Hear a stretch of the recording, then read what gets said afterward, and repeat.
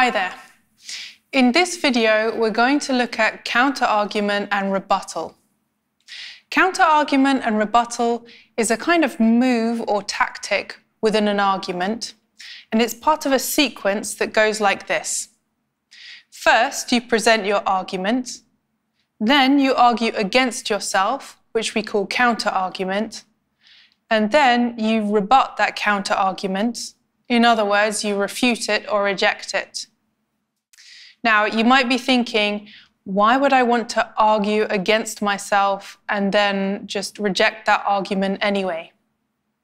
Well, today we're going to look at the counter argument and rebuttal sequence in more detail, and we'll look at why this tactic is useful in an argumentative essay.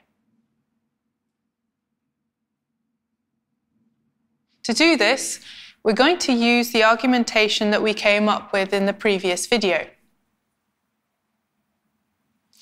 Okay, what could be a good counter argument here?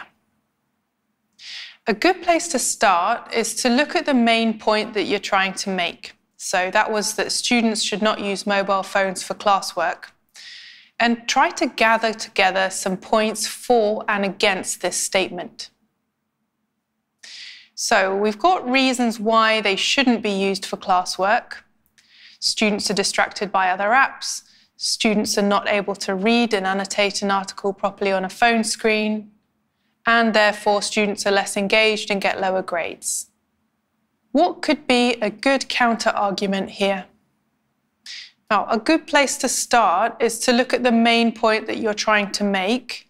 So that was that students should not use mobile phones for classwork, and try to gather together some points for and against this statement. So we've got some reasons why they shouldn't be used for classwork already.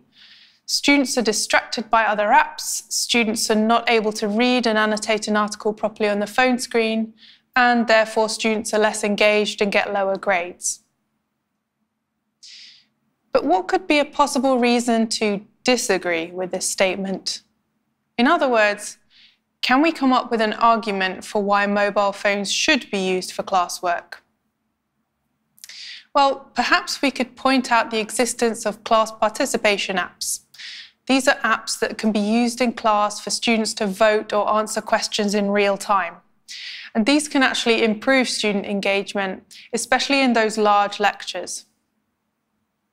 So this could be a counter-argument that argues against the statement that students should not use mobile phones for classwork. Let's have a look at how we can include this in our argumentation. So here's our text again. And you can see that I've added in the counter argument here. So we've got our counter argument now. But when you look at this, you might think, well, if I argue against myself, doesn't that just destroy my argument? Well, that's why rebuttal is so important. With rebuttal, we point out why this counter-argument is actually not strong enough to destroy or threaten our main argument. To do this, we have to find a way to reject or rebut the counter-argument. So how do we do that? Well, to show why this counter-argument isn't strong enough to defeat our main argument, we have to point out why our main point still stands despite the point just made by our counter argument. One way we can do this for our example could be to point out that even though there are useful class participation apps, these kind of apps can also have a desktop interface, so they can be accessed using a laptop. So let's add that rebuttal to our argumentation. Now the counter argument is dismissed, and we're back on track to argue that mobile phones should not be used for classwork. So, with counter argument and rebuttal, you're showing your reader a problem with your argument, but more importantly, you're showing the reader why your argument still stands despite that problem. To illustrate why this is so important, think about what would happen if you didn't include this counter argument. So you would make your point, students should not use mobile phones for classwork, and then someone would be able to easily dismiss your statement just by saying that mobile phones can actually be used to increase engagement with material in class through class participation apps. However, by including and rebutting the counter argument, you're one step ahead of them.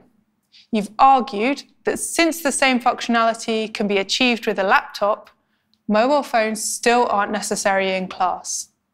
Now, this person no longer has a reason to dismiss your argument. There are different ways that you can develop your counter argument and rebuttal sequence. One of these is to debate with your peers. So, one person asserts their argument and the other person tries to counter it. Often, other people can spot weaknesses in your argument that you weren't aware of. If you don't have someone to debate with, you can do it yourself by listing points for and against your main argument, like we did earlier. Then you can develop one or more of the against arguments as a counter argument and come up with a rebuttal. Now, it's true that counter argument and rebuttal is a way to stay one step ahead of your readers. However, you should also think of counter argument and rebuttal as a way to acknowledge the different points of view that you encounter in your reading. So, one of the best ways to go about developing possible counter arguments is to make notes while you're reading and gather those sources which don't agree with your argument or which offer a contrasting point of view. Likewise, once you have an idea for a counter argument, make notes whenever you encounter a point that could possibly be used to rebut that counter argument. To sum up, then, counter argument and rebuttal is a really important tactic in an argumentative essay. It gives you a kind of immunity to the sort of criticisms that a reader could pose against your main argument or thesis. More importantly, though, it's also a way to acknowledge and respect the fact that the things you're writing about are rarely black and white. Whatever you're writing about, it's almost never a simple story. Counter argument and rebuttal therefore gives you a valuable technique to show your reader that you have considered the topic from different perspectives while still arguing in favor of your particular thesis. Okay, that's all for this time.